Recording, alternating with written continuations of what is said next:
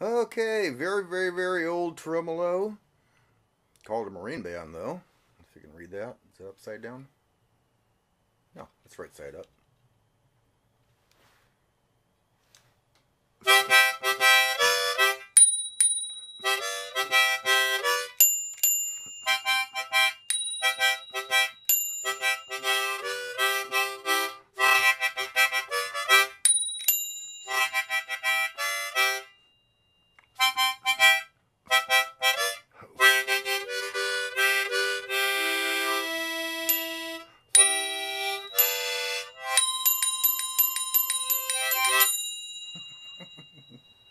Oh, real quick, I I played diatonic too.